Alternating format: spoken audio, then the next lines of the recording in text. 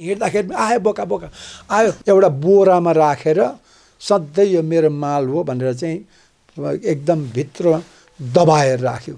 महिलालाई अब पुरुष सरहको लुगा पनि त्यस्तै फिट हुने एकदम जुझ्नु सक्ने पुरै इम्पावरिङ महिलालाई सशक्तिकरण गर्ने महिलालाई जुझ्नु सक्ने सोच्नु सक्ने अनि त्यसपछि बुझ्नु सक्ने बनाएपछि मात्रै सही पुरुष जन्म हुन्छ। म कहिलेकाहीँ मेरो आमाले थाहा पायो अब म जस्तो बोकालाई जन्मै दिँदैन थियो। स्वामीजी भइरहेको छु जहाँ चाहिँ हेर्छु मदनजी ढोक्नु आउँछन्।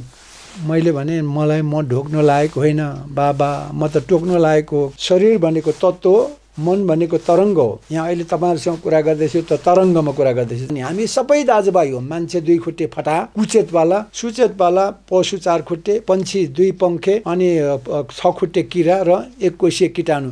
यी सब दाजुभाइ हो। हाम्रो केही भिन्नता छैन। सेक्समा भिन्नता छैन जन्ममा भिन्नता छैन। खाना पिना जम्मै आमा हो। त्यस अनि हाम्रो पञ्चअङ्ग थाहा पाउने आँखाले देख्ने कानले सुन्ने नाकले सुँग्ने छा जिब्रोले चाख्ने र छालाले छुट्ने A complete bundle of art, information and entertainment. NKTV. जसरी पुरुषले एकभन्दा बढी महिलासँग गर्न सक्छ होइन महिलाले पनि एकभन्दा बढी पुरुषसँग गर्न सक्छ नगरिकन कसरी हुन्छ तपाईँ त्यही महिलाको स्वतन्त्रताको पनि ओकालत गर्नुहुन्छ मैले भने सबैभन्दा बढी त स्वतन्त्र महिला हुनुपर्छ किनभने महिलालाई दस हजार वर्षदेखि पुरै पुरुषले के भन्छ ऊ बनायो कुजे बनायो अन्धा बनायो। सबभन्दा कुजे एउटा बोरामा राखेर सधैँ यो मेरो माल हो भनेर चाहिँ एकदम भित्र दबाएर राख्यो। महिला भनेको त आमा सृष्टि हो यो धरतीको जगतको सबैभन्दा शक्तिशाली कुरा हो। फिजिकली पनि फिट छ. मैले भन्दैछु अघि पनि कुरा गर्दैछु इन्फर्मली धेरै धेरै धेरै धेरै के भन्छ सहन शक्ति पनि छन्। त्यस कारण लड्ने क्षमता पनि छ। महिलालाई अब पुरुष सरहको लुगा पनि त्यस्तै फिट हुने होइन एकदम जुझ्नु सक्ने पुरै इम्पावरिङ भन्नु नि महिलालाई सशक्तिकरण गर्ने महिलालाई जुझ्नु सक्ने सोच्नु सक्ने गर्नु सक्ने अनि त्यसपछि बुझ्नु सक्ने बनाएपछि मात्रै सही पुरुष जन्म हुन्छ। सही पुरुष सबै त्यो फटा पुरुष म जस्तो बोका पुरुष जन्मेकै त्यही महिलाको अङ्ग मेरो आमाको अङ्गबाट। म कहिलेकाहीँ मेरो आमाले थाहा पायो अब म जस्तो बोकालाई जन्मै दिँदैन थियो। अनि अरू दुनियाँलाई यत्रो मान्छेहरूले मदने बोका सर्दै गधा पागल भन्ने मौकै हुँदैन थियो नि। टाउको त मेरो दुख्या छैन उहाँहरूको दुखेर बम्रै यस्तो गाह्रो छ कि होइन हिँड्दाखेरि आयो बोका बोका। आयो। के अरे त्यस्तै भन्नुहुन्छ टोलतिर होइन मैले भन्नु खोजेको के भने यहाँ त के भन्थ्यो बेचारा म यहाँ सबै देख्दैछ। बा होइन भगवान् भन्ने पनि थुप्रै छ नि। म त अब त स्वामीजी भइरहेको छु। जहाँ चाहिँ हेर्छु मदनजी ढोक्नु आउँछन्। मैले भने मलाई म ढोक्न लायक होइन बाबा। म त टोक्न लायक हो। किन गर्नुहुन्छ? त्यो होइन म। होइन गुरुको गुरु तपाईँ भन्नुहुन्छ कि? मैले भने गुरु गुरु होइन। मैले खालि त्यो टोइलेटमा हग्ने के अरे शङ्कराचार्य अथवा हिन्दू गुरु अनि बुद्धको चाहिँ रिम्पोचेहरू पोप पोपदेखि लिएर यताको के भन्छ इस्लामको मुल्ला जसले टोइलेटमा हुन्छ उनीहरू गुरु होइन गोरु हो भनेको हो मैले हो। म चाहिँ गु- के अरे उसमा बाल्टिनमा हग्ने चाहिँ म म चाहिँ एउटा पागल हो त्यति मात्रै भन्ने हो मलाई त्यस्तो भन्नु पर्दैन भन्छु। त्यस्तो मान्छेको भइरहन्छ ज्ञानको तह हो बुझाइको तह हो सिकेको के छ त्यो जानेको तह हो। युट्युबमा पनि तपाईँलाई तपाईँको भिडियो हेर्छन् तर तपाईँले त्यो कमेन्टहरू हेर्नु भएको छ।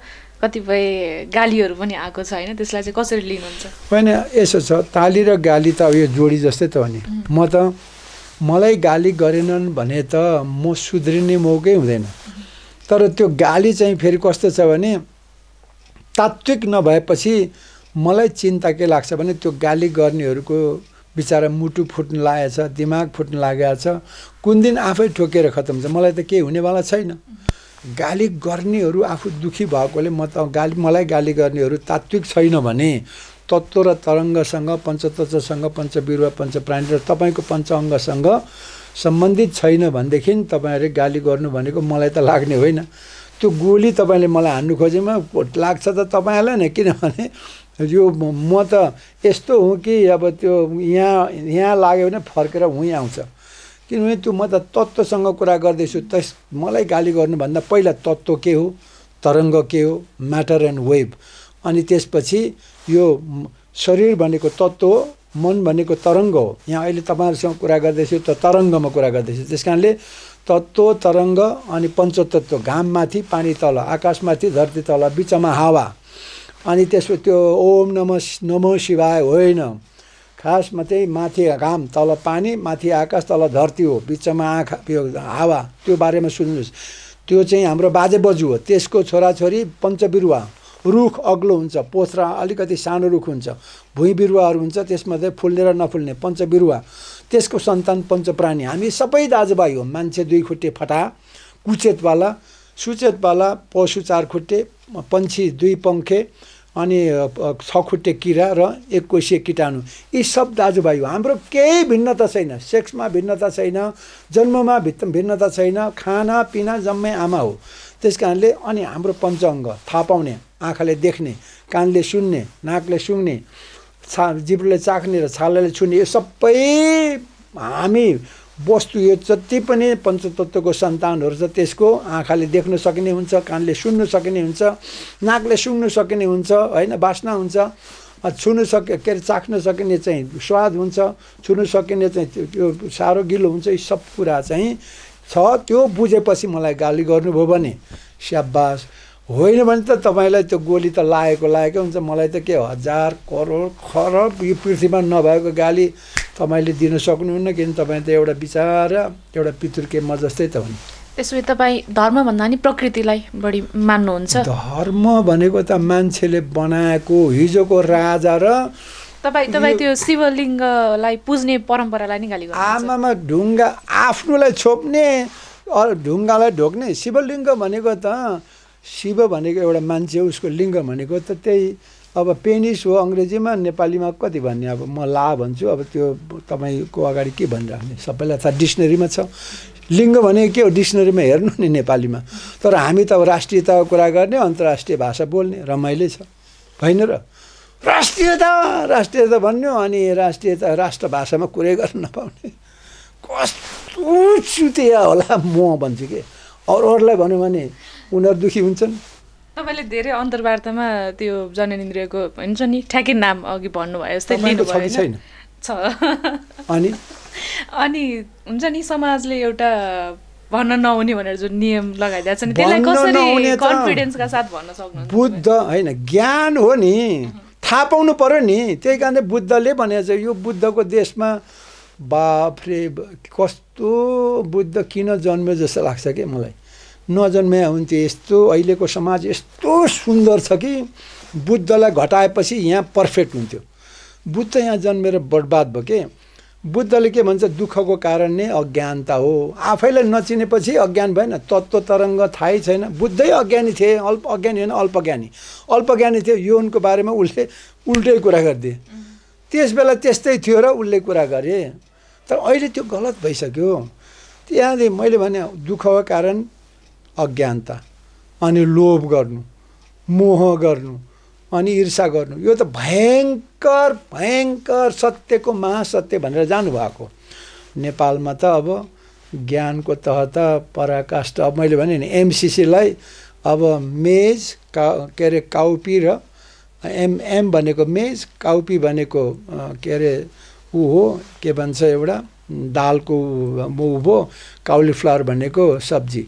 अब के अरे भात दाल र सब्जी हुने भयो एमसिसी भनेको मिलिनियम च्यालेन्ज कर्पोरेसन होइन कि? मेज काउपी र काउलीफ्लावर भए जस्तै भयो। त्यस्तै छ नेपालमा बुझेको त्यस्तै। यो कारणले गर्दाखेरि मैले केही भन्नु छैन तर यी तपाईँहरू जस्तो मिडिया आउनुहुन्छ र बोल्नुहुन्छ र मैले खालि मान्छेको समस्या पहिले आकाश चढाउने होइन त्यसपछि पानी फोहोर गर्ने र माटो रुख्याउने हावा फोहोर गर्ने। यति कुराहरू गल्ती भएरै मै मर्दैछु र हामी मान्छे मरेर त केही फरक पर्दैन। चुतियाको चाहिँ विनाशै होस् भन्छु। तर खत्तम त के भने यो पशु पन्छी किरा किटाणुहरू उनीहरूको पनि के दोष छ र बिरुवाको के दोष छ? बिरुवा पनि खत्तम। आमै खत्तम हुने भयो हाम्रो क्रियाकलापले भन्ने मात्रै हो। नेपालमा एउटा यौन स्वतन्त्रता छैन भन्ने कुरा भइरहेछ होइन? तपाईँ त विभिन्न देशहरू घुम्नुभयो विभिन्न देशको युवतीहरूसँग सहवास पनि भयो। बाहिर चाहिँ कस्तो रहेछ त यो ट्रेन्ड बाहिर पनि धर्मैले खत्तम बनाएको छ के? अब हिन्दूले त रोक्ने नै भयो बुद्धले त अब यो दुराचार भनेरै गएको रोक्ने नै भयो। होइन क्रिस्चियनहरू क्याथोलिकले चाहिँ एकदम यो यो चाहिँ एकदम अप्राकृतिक हो भन्छन् होइन? भगवान्को सन्तान भगवान्को वरदान भन्छन् होइन? इस्लामहरूले त चाचार बिहा गरेर अब गर्छन् भनेपछि अनि महिलालाई चाहिँ कालो लुगाले छोप्ने। अब धर्मले चाहिँ अनि धर्म र भगवान्को नाममा तै खाला भनेपछि अब त्यसपछि उही त हो नि। हे भगवान् हे भगवान् भन्यो अझ बुद्धम शरणम गच्छामी भन्यो अल के अरे ईसा इसु इसु इसु भन्यो अनि अल्लाह अकबर भनेर मान्छेहरू सबै त्यहाँ अल्मलिएपछि त यस्तो कुरा गर्यो भने कहीँ पनि फ्रिडम छैन। तर युरोप अमेरिकामा जहाँ महिलाको चेत खुल्यो मैले जे भन्दैछु नि चेत खुलेर अब केस काट्नु लाग्यो लामो कपालमा त अप्ठ्यारो हुँदो रहेछ जम्मै तानेर हामीलाई निर्दो बनाउँछ उनीहरूले केस खौरेर एकदम समाप्त पनि नभेट्ने गरी गर्न थाले होइन? मुन्डनै गरेर हिँड्छन् कोही कोही महिलाहरू। लुगाहरू ठ्याक लोग्ने मान्छेभन्दा फिट लगाएर जुझ्नु तयार हुन्छन्। त्यो त समयले ल्याएको नि। त्यसपछि सेक्सनाथे तँसँग मात्रै बस्ने भनेर छोडेर हिँड्छ र अर्कोसँग गर्छ। बहु पुरुष बहु बहु महिला त युरोप अमेरिकाबाटै सुरु भयो। जुन ठिक छ अहिले पनि संसारमा कुनै कुनै देशमा उन्तिसजनासँग जीवनकालमा एकअर्कामा सहवास हुन्छ। भनेपछि पर पुरुष पर महिला नगरिकन त कसरी उन्तिसजना हुन्छ? सरदर संसारमा पाँचजना। नेपालमा शत प्रतिशत। अब त अहिले त सबैतिर यहाँ होटेलहरू जम्मै एकले अर्कालाई एकजनाको श्रीमती अर्कोसँग अर्को श्रीमती अर्कोसँग त अब मेरो अरूसँग गएको होला। मलाई त चिन्ता छैन किन म त त्यो फ्रिडममा इन्जोय हुनुपर्छ। सबभन्दा ठुलो कुरो साथी चाहिँ मिल्ने जति छोड्नु हुँदैन। भयोसम्म उहीसँग सेक्स गर्नु सम्बन्ध सन्तान जन्माउनु उहीसँग गर्नु। तर होइन बढी नै अब होइन म अलिकति चेन्ज चाहन्छु भन्यो भने चेन्ज गर्नु। अनि गुन्द्रुक र भात मात्रै खाएको छ खाएको छ। बिरयानी खाँदा के फरक पर्छ र? त्यस्तै होइन र? मेरो विचारमा त यो त एकदमै सामान्य भोग सम्भोग भनेको दुईजनाले गर्ने यो भोग चाहिँ एकजनाले खानु भनेको एकजनाले हो भोग गर्ने। होइन? अनि दुईजना तपाईँ र म मिलेर खाने कुरा अथवा केही कर्म गर्ने कुरा त समभोग सम भनेको तपाईँ तपाईँसँग जोडिएका परिवार भनौँ न परिवारका सदस्यहरू अथवा तपाईँका क्लोज मान्छेहरूले जहाँ जसरी यौनमा रमायो भने त्यो म त एकदम मैले त भने नि अब यो ज्ञान भइसक्यो पहिला पहिला म पनि अलिकति सङ्कीर्णै थिएँ जस्तो लाग्छ। घरिघरि त्यो एक्सप्रेसनहरू बुझ्छ तर निकै अगाडि। अहिले त मेरो बुढीले पन्ध्र मैले भने गए पनि कति खुसी। बसेर ल्याए पनि म बेखुसी हुन्न। सी मस्ट इन्जोय होइन उसले मेरो त मैले नै मैले राख्छु भने उनलाई किन नपाउने?